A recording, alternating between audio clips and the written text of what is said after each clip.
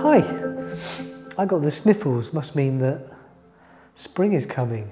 Um, also, there's a lot of building work going on, so apologies for the bang that will undoubtedly happen. We're going to look at the classification of bones. Here's a skeleton. Do the bones look all the same to you or do they look quite different? Yeah, they look different. And in anatomy, we love to classify things. So we're going to look at, and it will be a visual thing, we're going to look at long bones, short bones, flat bones, irregular bones, and sesamoid bones.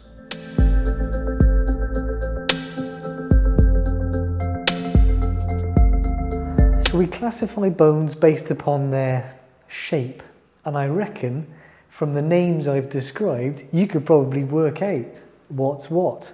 Uh, most commonly, we talk about long bones, and I've been talking about these recently. So the long bones um, are long, so they're longer than they are wide. They are long bones. I mean, the humerus is obviously a long bone. The radius and ulna are obviously long bones.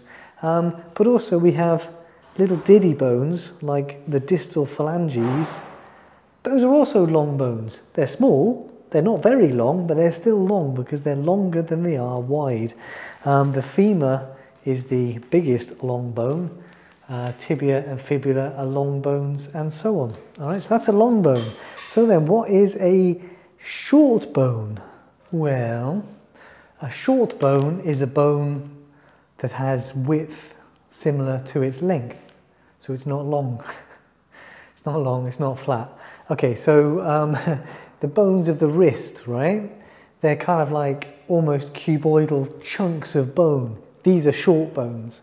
That's a long bone, a metacarpal bone. The carpal bones, the bones of the carpus, are short bones, which means that the bones of the ankle will also be short bones. The cuneiforms and cuboid bones are probably really good examples of this because they are like cuboid shaped, wedge shaped right? So these are short bones. So a long bone is long relative to its width. A short bone, its length, its length, its width, and its depth are all similar, but it's going to be a, have a fairly regular shape. Okay, flat bones. Um, this is a plastic skeleton. Um, I think it's easy. This is an easy one, right? The bones of the skull they're curved to enclose the cranial cavity, to enclose the brain, but they're flat. They are flat bones. They're thin and flat and curved. That's a flat bone. Um, what other flat bones are there in the body that you can think of? Scapula. It's a really good flat bone. It is very, very flat. It's curved, but whoa. It's curved, but it's flat. Uh, and also then, the pelvis. The pelvis is also a flat bone. So originally, when you were a fetus, you had three bones making up your pelvis, and they join in the socket of the acetabulum, pubis, ischium, and ilium. And look at the wing of the ilium, very much a flat bone. The other bits are a bit chunkier, but the ilium of the pelvis that's a flat bone. So those are flat bones. So that's long bones, short bones, flat bones. Now, there are lots of other bones in the body that all seem a bit random in shape. How would you describe those? Well, these would be flat as well, wouldn't they? Um, I mean, look at the vertebrae. The vertebrae are, they, they wouldn't fit into any of those classifications. They've got a big, look at, they've got a short bit here, but then they've got loads of spiky bits pointing. So they are irregular bones. So essentially, if it's not short, it's not long, it's not flat, we'll call it irregular.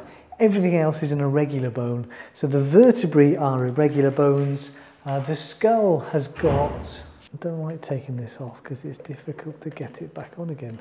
The skull, while it has a number of flat bones, it also has a number of funny shaped bones like um, the sphenoid bone in here which has got a load of spiky wings sticking out of it. It's very, very irregular.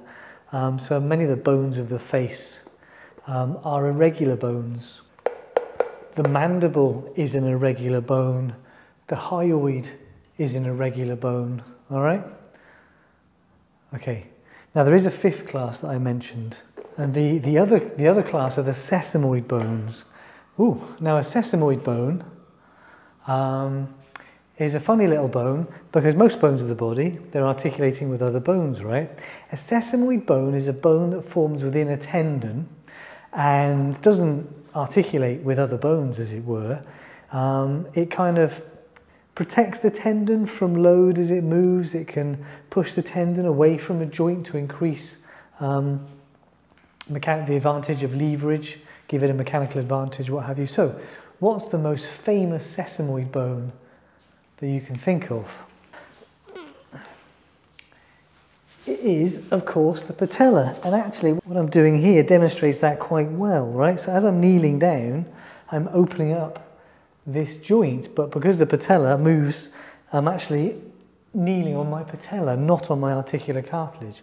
So the patella is a sesamoid bone. It's, we have the big quadriceps muscle here, they all come together to form a tendon, and the patella is a sesamoid bone within the quadriceps tendon that runs across the knee and inserts here into the tibia. But there are, another good example is, oh under the, so here's the great toe, the big toe. Um, there's the metatarsal. There's the proximal phalanx. Under here, there are usually two sesamoid bones in the tendon there. I, I can show you this better on an x-ray. So when you look at an x-ray of the foot, you can see these little sesamoid bones. So that is how we classify bones in the body.